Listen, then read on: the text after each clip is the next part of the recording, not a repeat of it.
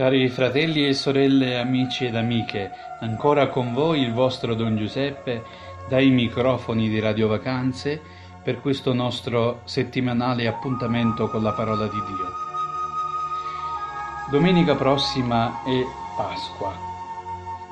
Pasqua significa passaggio. Passaggio da cosa? E verso dove? Dalla schiavitù alla libertà dal peccato alla grazia, dalla morte alla vita, dal terrore all'amore. Come cristiani siamo chiamati a compiere questo passaggio, ma attraverso una persona, Gesù Cristo, che è, come ci dice l'Apostolo Paolo, la nostra Pasqua, il nostro passaggio verso una vita nuova, verso una mentalità nuova. Tutti noi siamo ancora profondamente scossi e addolorati per questa ulteriore strage che ha colpito l'Europa, uccidendo nostri fratelli e ferendone altri. Ma dobbiamo anche essere colpiti dalle motivazioni che portano a tale stragi.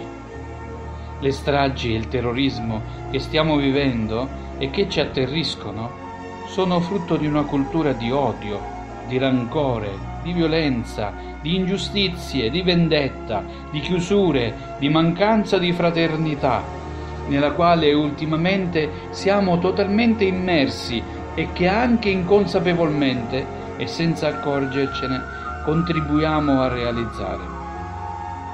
Papa Benedetto XVI ebbe a dire che l'uomo senza Dio diventa meno uomo meno umano e Papa Francesco a più riprese ha tuonato dicendo che non c'è morte e cultura di morte nei credenti e che non si ammazza in nome di Dio. Ricordiamo le chiare ed inequivocabili parole dell'Apostolo Giovanni quando dice dove c'è odio e rancore non c'è Dio.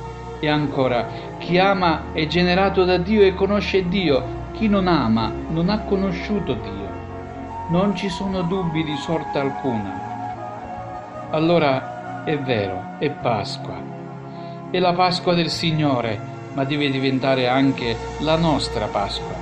Dobbiamo compiere questo passaggio e dobbiamo comprendere che possiamo risorgere da questa situazione e cultura di morte, impegnandoci per la vita e per una cultura di vita attraverso il rispetto reciproco, l'amore e non l'odio, la fraternità e non la vendetta, superando barriere razziali e religiose e praticando l'accoglienza e la solidarietà e impegnandoci per una giustizia sociale. Cari fratelli e sorelle, auguro a tutti voi una santa Pasqua di risurrezione e di vita, sempre dal vostro Don Giuseppe, ancora dai microfoni di Radio Vacanze Roma. Buona Pasqua!